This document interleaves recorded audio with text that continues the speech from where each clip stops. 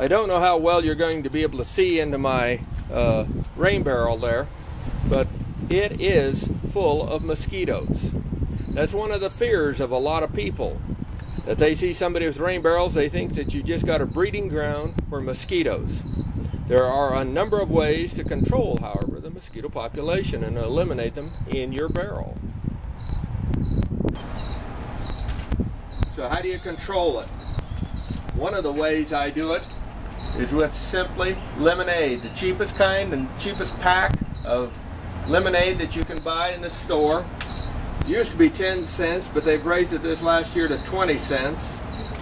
You simply tear it open, tear it open, and you sprinkle it in. Just like that. The acidity will kill the mosquitoes. That simple. In no time, an hour or less, all those mosquitoes will be dead. That's one option for getting rid of mosquitoes. Well, it is the next day, and you can see that the mosquito larvae have pretty well died out, but unfortunately it is not 100% killed this time, and I'm not going to pull any punches or uh, stretch the truth, lie if you will, to you. And so since it didn't kill 100% of them, there's probably a dozen left in there. Well, that's a dozen too many. And again, what we used is just the basic lemonade, and we'd put it in there yesterday. But since there's still a few left, since there's still a few left, I'll use a PAM spray like this, and you can just simply coat that top, just like that. And that will finish them out, without question. The oil top works. Now in the old days, they used oil you know, machinery oil, stuff like that, which is anything but then making the water safe to even use, even for gardening.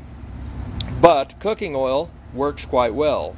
There are many people that are against, especially in government and some of the corporations, uh, you having your own rain barrels because that's a freedom and that allows you to be free and have a safe water resource without them getting a piece of the action.